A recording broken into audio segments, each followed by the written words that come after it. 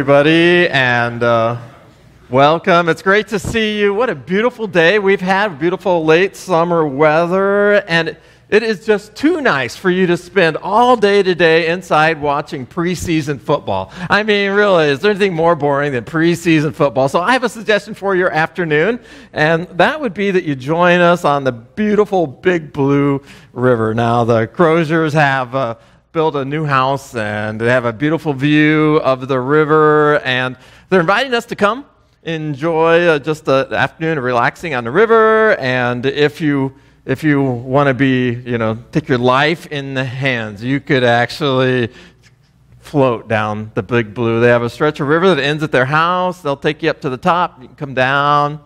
Okay so unless it's rained somewhere heavily it's probably not going to be a life-threatening journey no. Uh, is it a walk down, or will we actually be able to float down, you think? Oh. All right, so. Okay. Anyway, we'd love to invite you to come. They would love to welcome you to their home. And we put some directions together on a little blue piece of paper, Blue River blue paper, and they're available as you leave on the information table. The directions are a little more uh, challenging than they would normally be because of construction, right? So if you just put if you just put it into your phone or into your GPS, you could have some complications because of some road closures. So you might want to consider these directions, and uh, you should get there just fine. Wow. I don't know what else I have to say. What other announcements I could say that would, like, you know, catch after that one, right? Come on, that's, that's an opportunity that I hope you're taking advantage of for the day. So I just want you to take a big breath, right? Like, and think, here I am, right? I'm here. I'm here at this place. And I want to I want to enter in. I want to come. I'm here. I want what the Lord has for me in this place this morning. And I hope that's true in your heart. That today you are saying to the Lord, I, I want to be part of this moment, and I want to know your presence here now.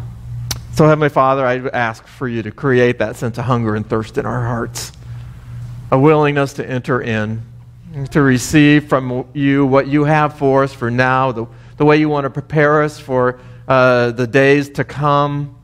But again, this opportunity to just sharpen our ears to hear your voice. So, Father, I ask again for your blessing on our time. Would you make us sensitive to your presence here this morning? In your name, I ask it. Amen.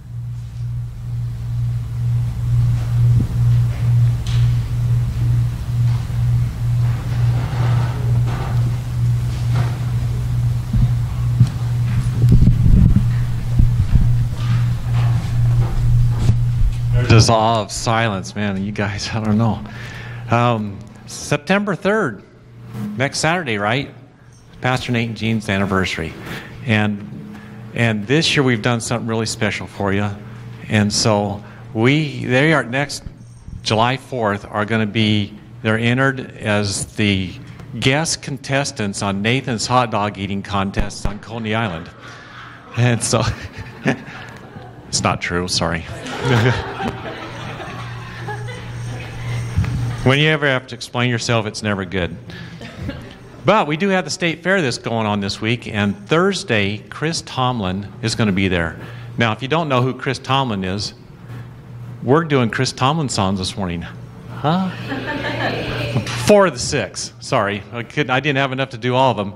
And Curtis, you just better hope that next year the Newsboys aren't the state fair, because then we'll be doing Newsboys songs. No, you won't be here for that one. We're glad that you're here. We can have fun too, right? It's okay.